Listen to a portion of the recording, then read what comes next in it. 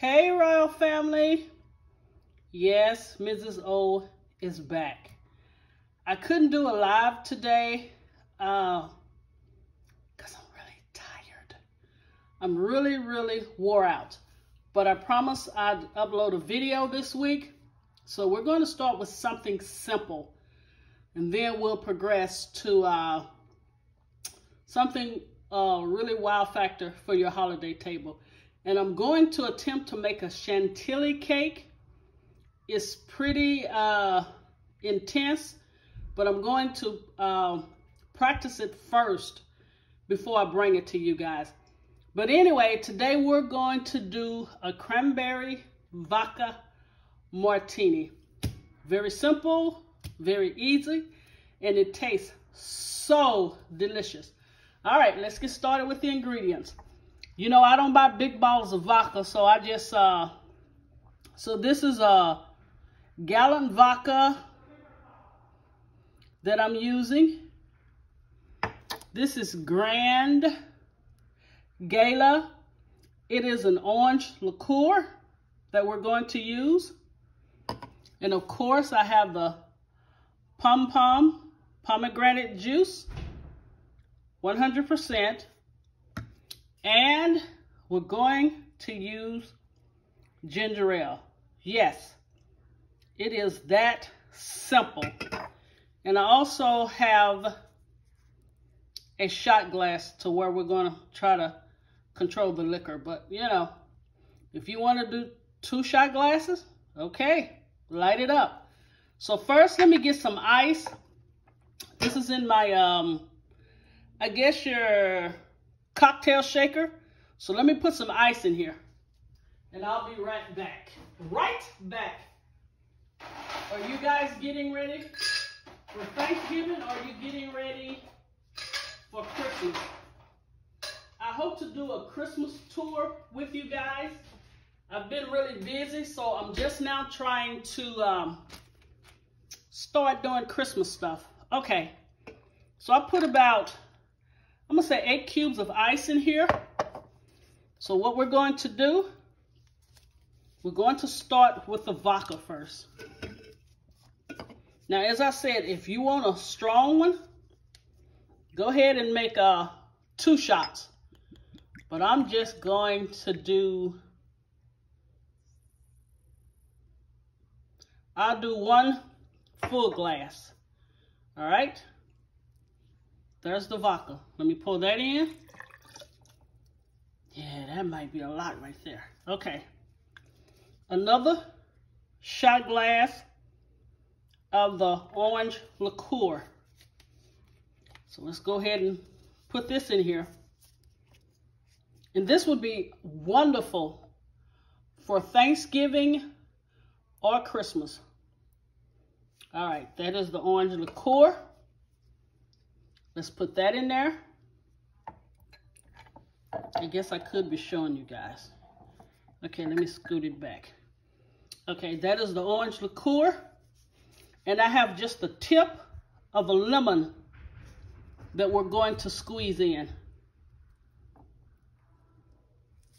Okay, and I want two shots of this pomegranate juice. Let me kind of shake it up here. I really appreciate all of my new subscribers. I mean, my channel is growing like crazy. And soon I will reveal to you guys my numbers. I am so excited.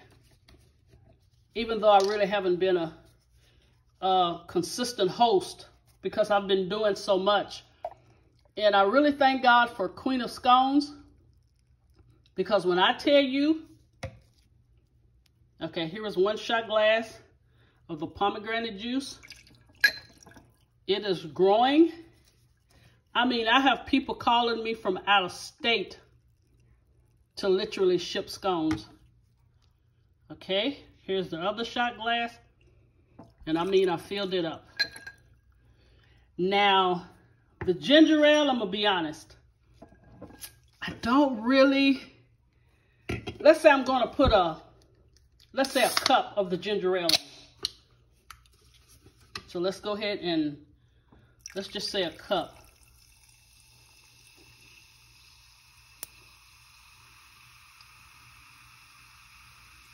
So that is about a cup.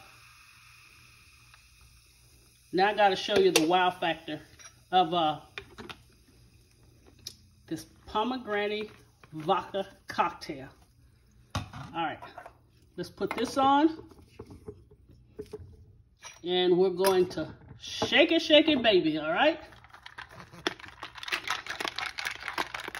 Let's give it a, a really good shake. And you know something? Take that back, the shake. Because when I shook it, the ginger ale was kind of spewing out. So, we are going to fix that. I have a long cocktail spoon. And we're going to just stir it. All right. Now let's stir it. So don't shake, because that ginger ale reacts. Okay.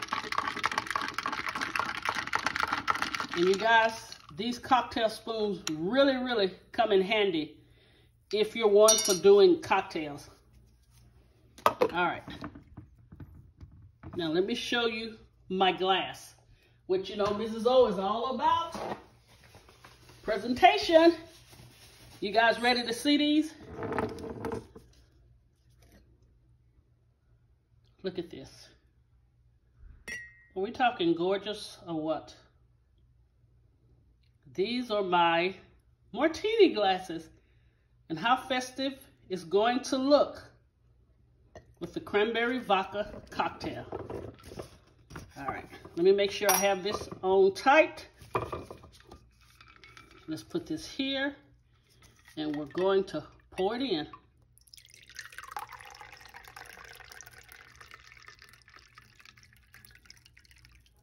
Beautiful or what? You see that? Now let's do the other one.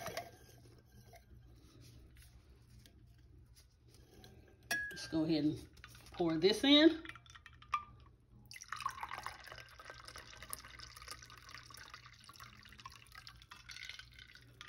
Is this beautiful or what? And of course, now we have to tell them the type of cocktail, okay? So I bought a pomegranate and I deseeded it. These seeds are so good. I had froze them. Hopefully they're still cold because I found out if you don't freeze them, they'll all sink to the bottom. But let's see how this works out.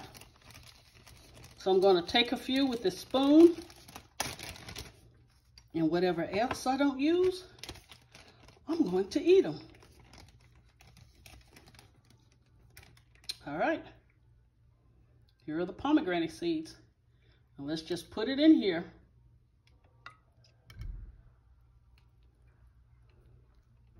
Want you to really see a good picture of this. Hold on. So you can really see how beautiful it is. I would advise to go ahead and keep them frozen. I took it out and it kind of defrosts. But when you freeze them, they literally float to the top. But you can see them down there. And is this glass beautiful or what? I'll say we're going to do, um, let's give us, since we have a little lemon juice, let's, uh, let's zest just a little.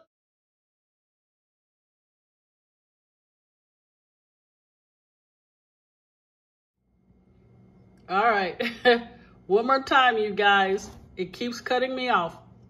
This is the finished product of the pomegranate vodka cocktails with pomegranate seeds.